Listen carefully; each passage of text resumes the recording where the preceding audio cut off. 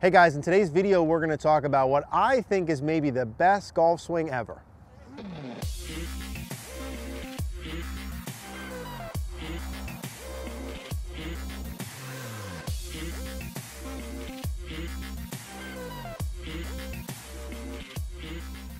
I want to talk to you today about live view golf. Now you guys hear me say all the time that you need feedback when you're practicing. You need to know if you're actually doing what you're trying to do. And the best way to give yourself feedback ultimately is video. And not only is video the best way to give yourself feedback, but being able to see yourself simultaneously as you're doing a movement is the best form of video feedback. It's the best way I've seen to make changes in your swing and be able to correlate the differences between your feels and your reels. Live view is super easy to use and set up. Simply set it up behind or in front of you.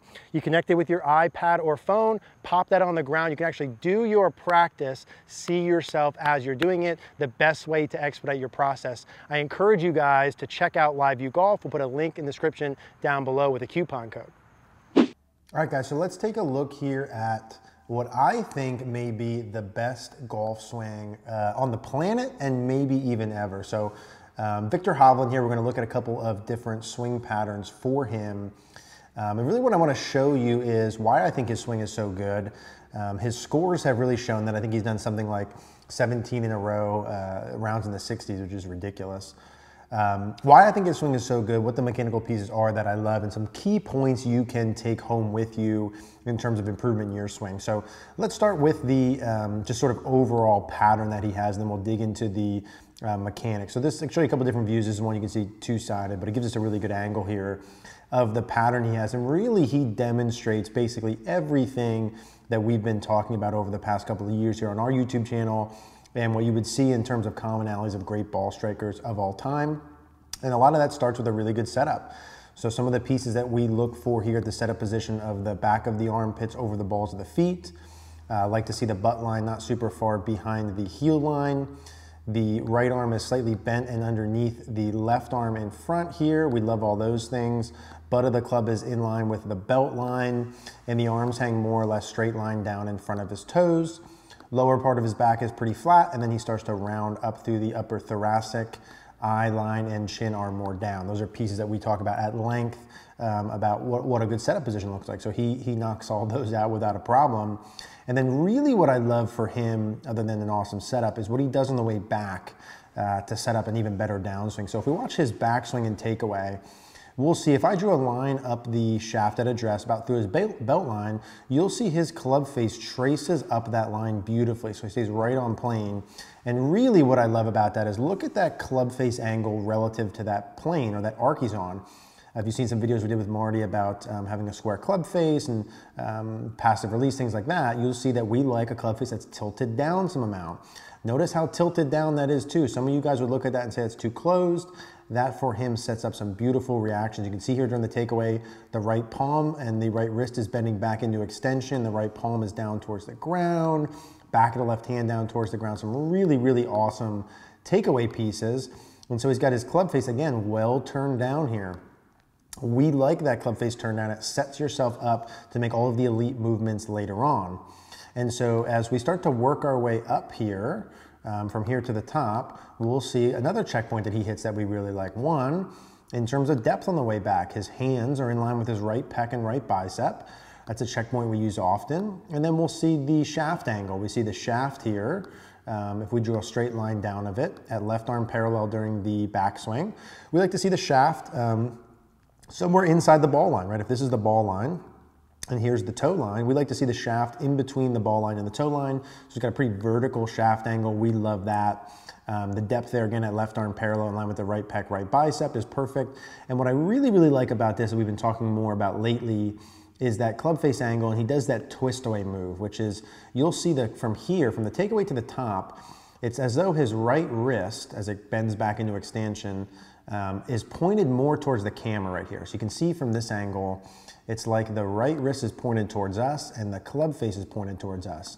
And that sets up a club face that's gonna be really square or close. See, they're same thing. Look at that right wrist is pointed towards the camera, club face pointed towards us. That's a, something you can start to mimic in your backswing to set yourself up for a great downswing. Keep that right wrist bent back, keep it pointed towards the camera, feel like the club face is pointed towards the camera longer. Now, as he goes up to the top, he gets a little more vertical with his uh, lead arm than some players. He's more of a Dustin Johnson, which is fine. Still got enough depth, uh, more towards the middle part of his right foot.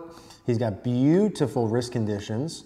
You see that left wrist is very flat, slightly bowed. That right wrist is bent back there into extension. And again, a commonality amongst really good swings. The club face here, and if you draw a line down the leading edge, is not parallel to the forearm. It's more closed or more vertical, more pointed towards the sky, which we would call more closed. Now what that does is set him up for this beautiful transition motion here, which you'll see there, which is his left wrist went more towards flexion or bowed, his right wrist got more bent back, and his trail arm has gone into what, we, what uh, you would call external rotation. So here's his arm, here's his upper arm there at the top, and you'll see that coming down here. Now when he gets the left arm parallel, which we'll see in the Dustin Johnson model, his upper arm now is pointed straight down towards the ground, right? So see how the elbow is down towards the ground compared to if we go back up in our external rotation video we did, you see the movement of that humerus, that uh, the bone between his elbow and his, his, shoulder goes from horizontal to pointed straight up and down. You See that little movement there? That's external rotation. Now he's doing that You'll see that club shaft stays behind him. He flattens the arc of it. Again, that club face pointed more towards us. The right wrist pointed more towards us. Keeps that face in a beautiful position. His wrist conditions are excellent, 10 out of 10. He's got his trail arm back in front. You notice he's maintained the bends of his body, right? He's not standing up from here. He's added some knee flex from there to the top, right? All these things we talk about. Look at that right knee increasing flex. The upper body is getting closer to the ground. Here he was at the top. Um, here we go down, so there his head lowers, right? He gets that upper body flexing. Shaft goes through his bicep. He gets the club beautifully back on plane. Club face is still tilted down towards the ground, still maintaining his bends. And then look at the impact position. I mean, that's 10 out of 10, right? You can see the right arm underneath the left arm. The trail arm's bent. The trail wrist is bent. He's lowered his body angles. He's opened his pelvis a bunch. His rib cage is well open, right? Shoulders are more towards square and then a beautiful exit pattern where he exits about middle of the rib cage, face pointed straight to the left. Look at the tilt. I mean, this is literally, I think, the best swing maybe ever and the best swing on the plane. He's got the most functional swing pattern um, probably of anyone uh, that I've seen. Now, he does have a lot of commonalities with a guy like Dustin Johnson, um, which we'll see here in a second. And if we pull up his uh, driver pattern, and we'll get a face on pattern here, we'll start to see a lot of really good things from face on. Now, you can't have that many good things from down the line and have bad things from face on, right? So now we've got him about a foot into his backswing, so it's not gonna be perfect there with the setup. You can tell he's got a bunch of tilt at his setup position. He's gonna have a more neutral to stronger lead uh, grip pattern. Now, as he works up from the top, we can see during the backswing, he's got good width there, good alignments, appropriate amount of turn and bends, right, at this first parallel position about uh, 30 degrees of shoulder turn we're looking for. The trail arm bends a little bit. Um, as he starts to work up to the top, let's get him the left arm parallel. So big full turn up to the top. Lead leg has worked in some amount. He's got some hip rotation, huge turn, huge depth. And then as he starts to work back in in transition, again, we're gonna start to see some of these movements we like. There's a little bit of a lowering. Notice where his head is at the top, right, in his upper body. There's a little bit of downward loading there in transition as he replants.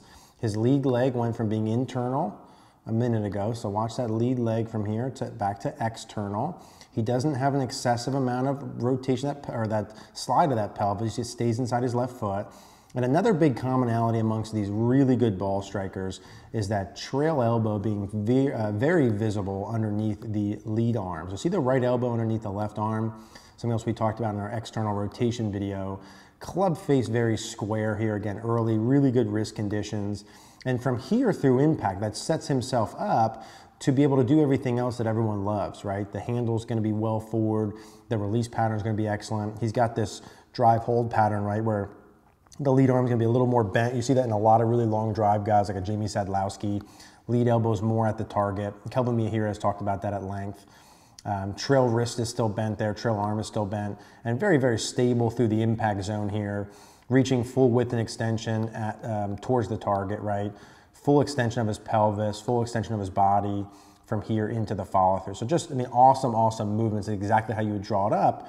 Now, when we look at his pattern, you would see a lot of similarities in there to uh, a guy like Dustin Johnson, right? So if we pull up the Dustin Johnson model, and we take a look here and slow this down, we would start to see a lot of the same pieces, right? We see the club face being tilted down. There's some little, you know, not exactly the same, but you'll see the, the club face being tilted down here.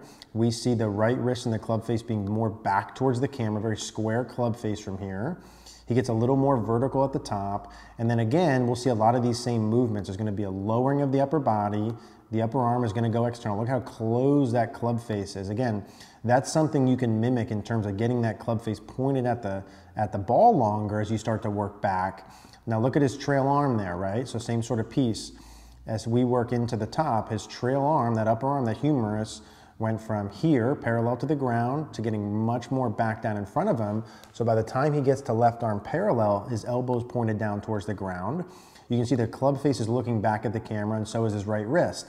That's another key movement. Not only can you do that right wrist club face looking at the camera during the backswing, you can do it as you start during the downswing. Keep that trail wrist bent back and leave that club head behind you. And then again, we're gonna see the same sort of movements. Because he's in this position, he's gonna have the same sort of release pattern that Viktor has. The club face again being tilted down during the delivery phase dictates his ability to get the handle forward, to rotate, to have the release pattern we all like. So he's gonna have a lot of those uh, same pieces there.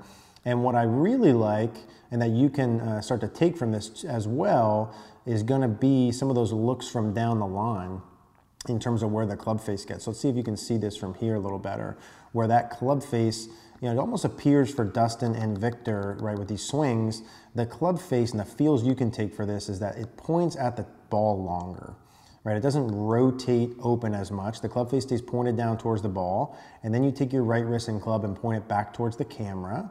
And then as you start down, you point it back towards the camera again, right there.